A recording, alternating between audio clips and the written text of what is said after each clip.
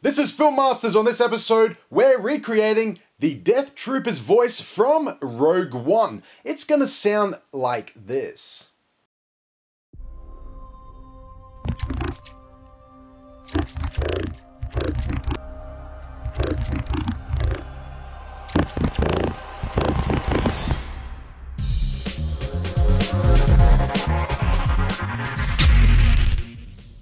Okay, we're in Adobe's Audition, and the first thing we're going to do is going to go up to Waveform, and I'm going to call this Death Trooper. I'm going to leave the sample rate as 44100, channels as stereo, and bitrate at 32 floating, select OK. Once we've done that, the next thing we're going to do is we're to do a voiceover. Now, one thing about the Death Troopers is when you hear them talking, they're actually not aliens, they're not robots, they're elite troops, and they're actually scrambling their communications to each other. So you hear that uh, broken up sounds, and even though it comes across as if they're talking a different language, they're actually not. It's just a scrambled signal. So whatever we say in this recording will be scrambled. So in the movie itself, as you remember, they're looking for Jyn Erso when she's a child at the very beginning. So we're going to use some of that dialogue and we're going to do a recording now. So I'm just going to come down here and press the record button. Look to the left. Search for the child. The child is located in the hut. Okay, so I'm just going to play that back. Look to the left. Search for the child. The child is located in the hut. So once I've done that recording, I'm going to make sure that I select the waveforms that I want to modify. And the next thing I'm going to do is I'm going to go up to Effects, and come down to special and select the Doppler shifter.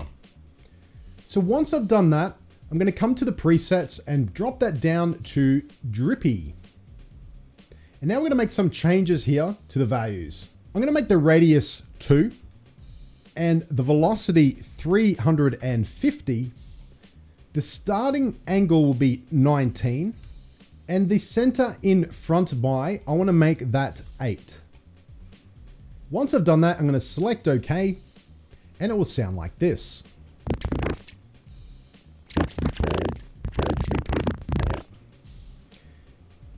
Now, once I've done that, there's only one more step to do, and it's up to favorites, and it's simply remove vocals.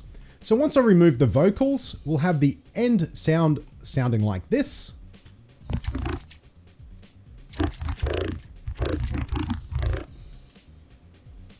So now all I have to do is go up to File, Save As, Death Trooper, Wave is going to be our file name. We're going to find the location. I'm just going to put it onto the desktop, select Save, and select OK. And we're done. So that's how you do the Death Trooper's voice in Adobe's Audition.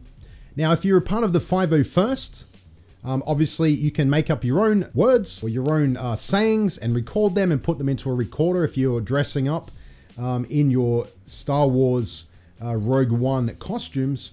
Otherwise, if you're doing a short film or even uh, using Lego or, for example, um, the six inch figures and you're making your own little stop go animation short film, then this is another way of using your own voice to make a Death Trooper voice. And that is how we recreate the Death Trooper voice from Star Wars Rogue One. If you want to become a Film Master subby, it's pretty simple. Just subscribe to the channel. You can like us on Facebook and or on Twitter. And until next time, don't just film it, master it.